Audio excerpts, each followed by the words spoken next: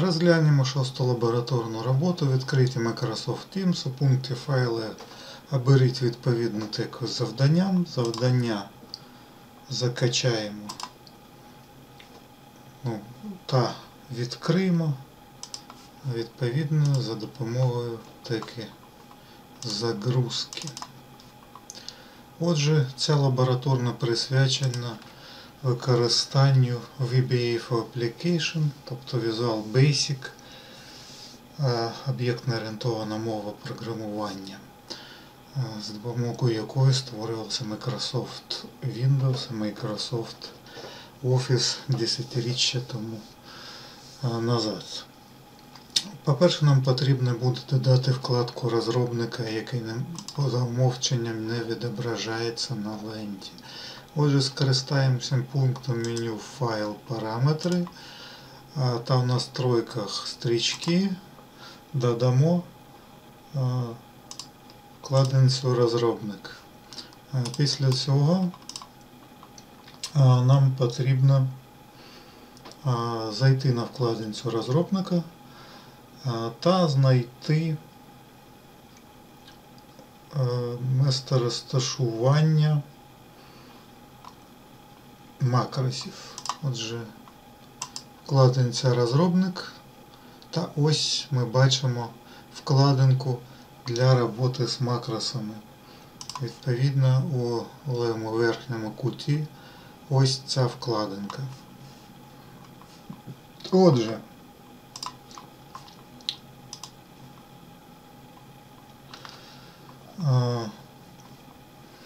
маю наголос на тому, а, що в деяких випадках необхідно буде налаштовувати, яким чином будуть працювати ці подпрограми, чи будуть вони працювати взагалі. Отже, для того, щоб побачити типи налаштувань цього додатку, натисніть на безпеку макросів та оберіть е, вимкнути всі макроси. Це не рекомендується командою Microsoft. За умовченням стоїть галка вимкнути всі макроси з повідомленнями. На нашу лабораторну це ніяк не впливає. Але якщо ви плануєте вести розробки на базі Excel, вам потрібно знати, де налаштовувати цю систему безпеки.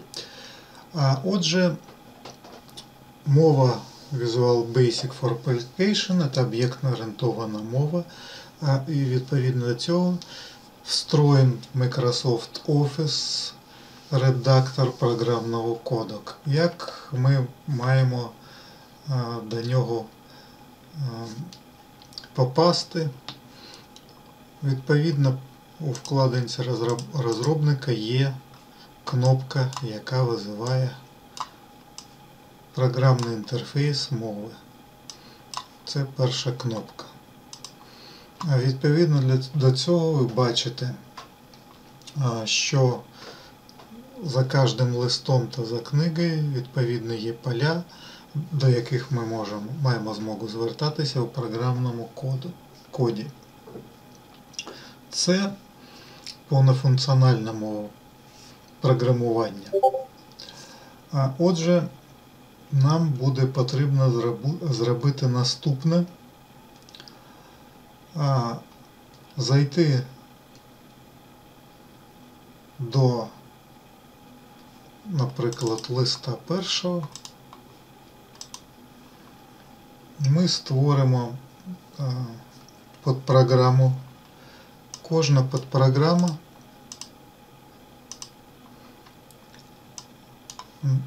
починається а, наступними словами початок та закінчується наступними словами кінець підпрограми. А, Тобто SAP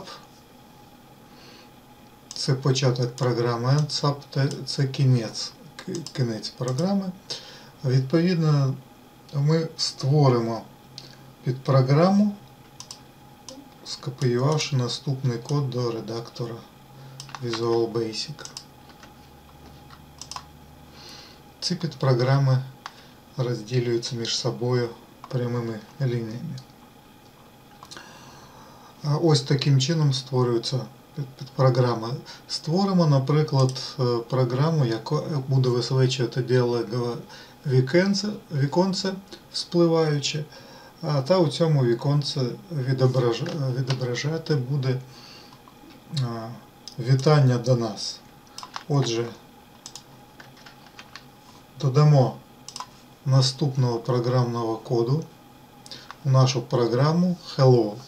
Тобто SAP це початок програми, NSAP кінець програми, Hello назва програми. За цією назвою потрібно звертатись для того, щоб вона була виконана. Системними є дужки, вони є обов'язковими. MessageBox це оператор, який е, дозволяє відобразити вспливаюче вікно та у дужках ви бачите текст, який буде у цьому вспливаючому вікні відображатись. Нам потрібно якось звернутися із нашого листа Excel до цієї підпрограми, щоб побачити діалогове віконце з привітанням. Отже, нам потрібно буде вставити керуючий елемент. Я закрою за окно коду. У вкладинці розробника е, знайдіть елементи керування, пункт вставки та відповідно до цього оберіть е, вставити кнопку елемент керування. Нарисуйте, де вважаєте за потрібним кнопку. Під час створення кнопки є можливість назначити виповнення програмного макросу. Отже, ми зробили макрос, який має назву Hello. Ми при натисканні на цю кнопку будемо запускати цей програмний код. Натиснемо ОК. Після цього е, маємо можливість перевірити, чи робить е, ця кнопка так, як потрібно. Натискаємо на цю кнопку і ми бачимо спливаюче вікно, е, де відповідний текст. Вітаємо, наприклад, Василь. Отже, це перша частина, завдяки якого ми візуально змогли створити кнопку та е, прив'язати до неї виконання програмного коду. Якщо кнопка була створена заздалегідь е, до того, як був створений програмний код, ви маєте змогу назначити цей програмний код за допомогою контекстного меню правої кнопки мишки та відповідної команди приєднати макрос та із переліку макросів відповідний обрати та прив'язати до цього керуючого елементу. Отже, це дві, е, два варіанти, яким чином можливо додавати дії до кнопки. Надалі нам потрібно створити підпрограму, яку назвати Names, е, що викликає діалогове вікно, запитуючи ваше ім'я і зберігаючи його е, в відповідну камірку А2. Для чого? Нам потрібно буде створити наступний код. Копіюємо, додаємо е, цей код до редактора макросів відповідно. Ось цей код SAP ім'я дужки. Е, dim myInput це е,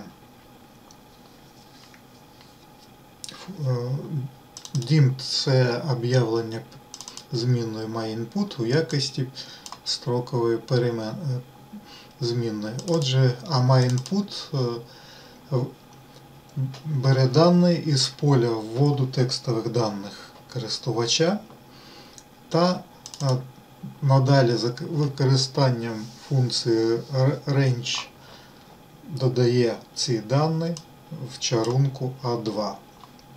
Отже, нам потрібно створити кнопку, наступну кнопку, яка буде працювати з цією функцією, яку ми створили, яка має назву Names. Нажмемо, натиснемо ОК. Отже,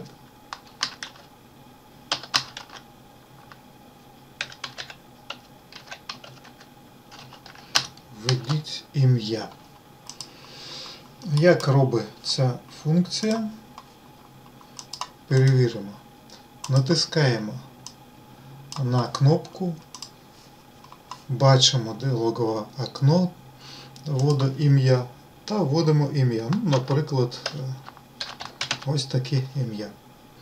При е, натисканні на кнопку ОК до чарунки А2 буде введено це ім'я. Ось таким чином працює цей програмний код. Маєте змогу вводити любу інформацію, ця інформація буде додана до цієї чарунки. Таким от чином. Наступна частина е, нашої роботи. А, перша частина нашої роботи виконана.